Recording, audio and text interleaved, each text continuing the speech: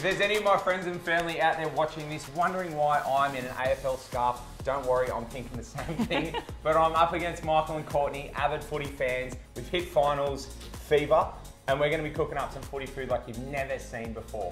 Come on, you Swannies. Go the Brisbane Lions.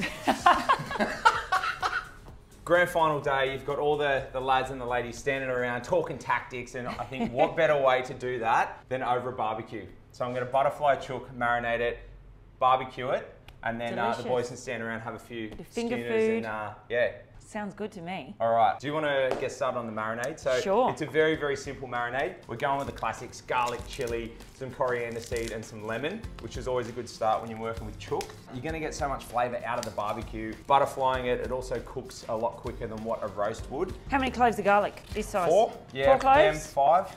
Five? Yeah. All right. So, I'm going to start by taking off the wingtips. You can absolutely ask your butcher to do all this for you, but it's a good skill to have. It's nice to know how to break down a bird, whether it's chicken, duck, quail, anything like that. As long as you're not squeamish with the bones. No, And it's, look, that's what it is. It's, that's what it is. This is this is food. it doesn't people. come in a packet all the time. So we're just going to take the how graphic you want to be. Backbone. Say backbone. backbone, the backbone. spine. Right. So then you're basically just following the anatomy. You want to find the, the joints. So we're going to start up here around the shoulders, go through there, and just disconnect, and then run down the line.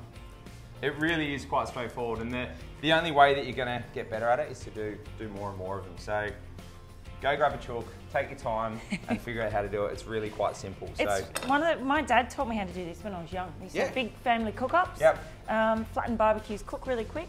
And my dad was like, come on, show you how to do this. gotta learn how to We'd do make it. a big pot of stock with all of these bones. so- Exactly. That's it's like a, a dual purpose. Take the bones out, roast them all off, make a sauce.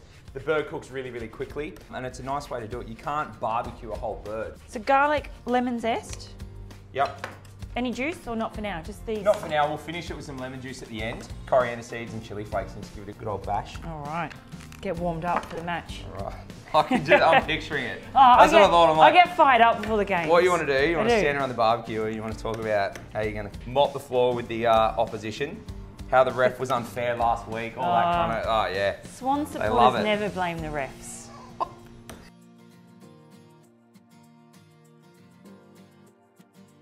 Also, with butterflying, it's uh, nice to, to consider the, the practicality of eating and, and making it a little bit more approachable. So we'll just take, take the thigh bone out here. So all we do, find the bone, run the knife along it, push your, push your finger through, create the gap, and then we just release it. You can you can buy chicken portions as well. Salt and oil in here. Yes, sir.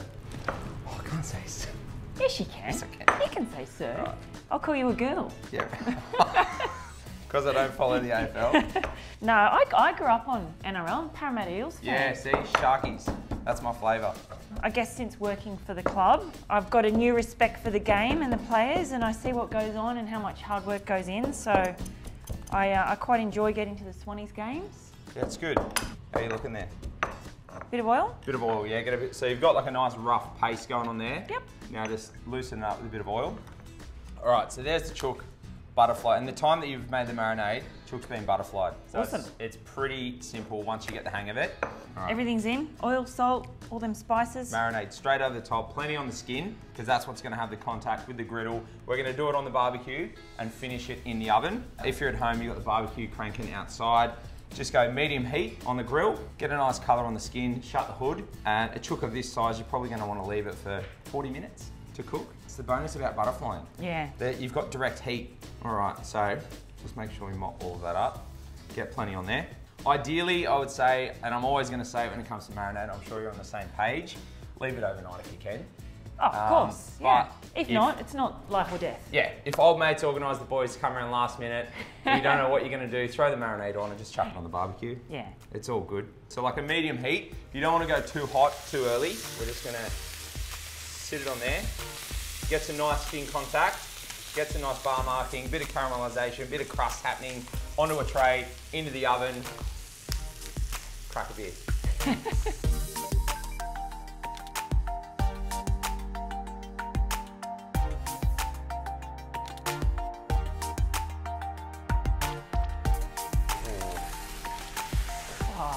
sizzle. Sounds good.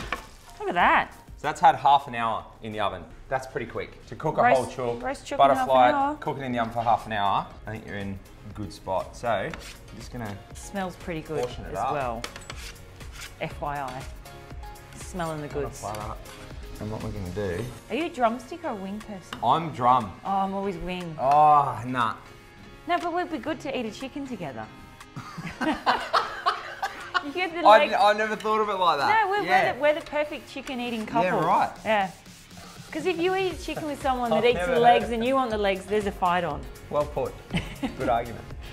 And all of this goodness straight over the top. Wow, You got chicken, you got sauce, you got salad. you gotta be happy I with think that. that's pretty sharp. Nice excuse to hang around the barbie. Again, talk tactics, game plan, who's going to win, have all the arguments in the world shared over a couple of friendly brothies. I think that's a bit of a right.